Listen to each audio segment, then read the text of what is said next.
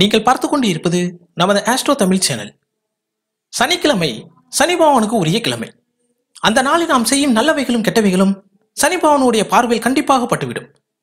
நாம் செய்யும் நல்லவைகளுக்கு நல்ல பலன்களையும் கெட்டவைகளுக்கு தீய பலன்களையும் உடனுக்குடன் கட்டாயம் அனுபவித்தாக வேண்டியிருக்கும். நாம் சாப்பிடும் உணவுப் பொருட்களிலும் கவனமாக இருப்பதும் அவசியம்.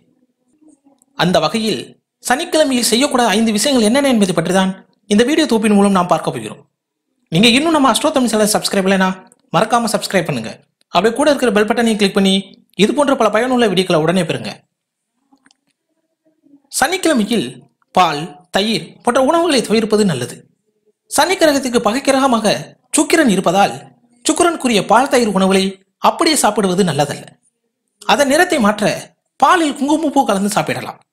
அதே போல் தயிரில் புதினா வெல்லம் போன்றவற்றை கலந்து சாப்பிடுவது நல்லது.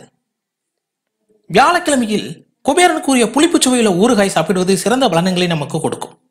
ஆனால் அதை சனிக்கிழமையில் நீங்கள் சாப்பிடுவதை தவிர்ப்பது நல்லது. புளிப்புச் சுவைக்கு சனி பகவானுக்கும் ஆகவே ஆகாது. இதனால் உடல்நல கோளாறுகள் ஏற்பட வாய்ப்புகளும் இருப்பதால் சனிக்கிழமையில் இவற்றை சேர்க்க வேண்டாம். சனிக்கிழமையில் சமைக்கும் பொழுது பச்சை மிளகாய் சேர்த்துக் கொள்ளலாம். ஆனால் சிவப்பு மிளகாயை தவிர்ப்பது நல்லது. சிவப்பு நிறமானது செவ்வாய் மற்றும் சூரியனுக்கு உகந்த நிறங்கள். இதனால் சனி பகவானுக்கு பகைக்கிரகங்களாக இருப்பதால் இவற்றை கூடுமானவரை நீங்கள் தவிர்ப்பது நல்லது. சிவப்பு நிறத்தில் இருக்கும் தானியங்களையும் தவிர்ப்பது நல்லது. சிவப்பு நிறத்தில் இருக்கும் தானியங்களை சேர்க்கும் பொழுது செவ்வாயின் ஆற்றல் அதிகரிப்பதால் சனி பகவானுடைய எதிர்ப்புக்கு ஆளாக வேண்டியிருக்கும். இதனால் உங்களது உடல்நல கோளாறுகள் ஏற்படும். சனிக்கிழமைகளில் கட்டாய மாமிச உணவுகளை தவிர்ப்பது மிகவும் நல்லது. சனி பகவான் அமைதிக்கும் இறைவழியில் செல்வதை அதிகமாக விரும்புபவர். அதனால் மாமிசம் சாப்பிட்டால் சனி பகவானுடைய பகைக்கு ஆளாக வேண்டியிருக்கும். பொதுவாகவே வெள்ளி மற்றும் சனிக்கிழமையில் மாமிசம் தவிர்ப்பது உடல்நலத்திற்கு மிகவும் நல்லது. சனிக்கிழமையில் மாமிசம் சாப்பிடுபவர்களுக்கு அஜீரண கோளாறுகளும் வாயு தொந்தரவுகளும் ஏற்படும். மனதில் மூர்க்க குணமும் உண்டாகும். அதனால் சனிக்கிழமையில் மாமிசம் கட்டாயம் தவிர்க்க வேண்டும்.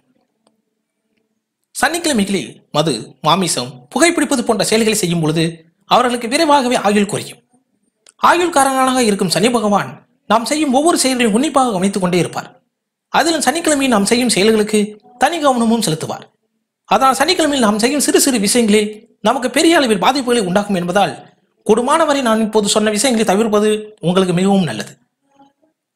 அதனால் சனிக்கிழமைகளில் இரும்பு சம்பந்தப்பட்ட பொருட்கள் வாங்குவது இறை வழிபாடுகளை செய்வது தியானம் மேற்கொள்வது தானங்கள் செய்வது போன்ற விஷயங்களை தொடர்ந்து செய்து வருபவர்களுக்கு வாழ்க்கையில் இன்னல்கள் நீங்கி மகிழ்ச்சி பிறக்கும் உங்களுக்கு எத்தனையோ துன்பங்கள் இருந்தாலும் சனி பகவானுடைய அருளை பெற்று விட்டால் எவரும் அதனை தடுக்க முடியாது. இதை உணர்த்துவதற்காகத்தான் சனி கொடுக்க எவர் தடுப்பார் என்ற பழமொழியும் உண்டானது. இந்த வீடியோ பிடிச்சிருந்தா உடனே கமெண்ட் பண்ணுங்க. மறக்காம லைக் பண்ணுங்க. நன்றி.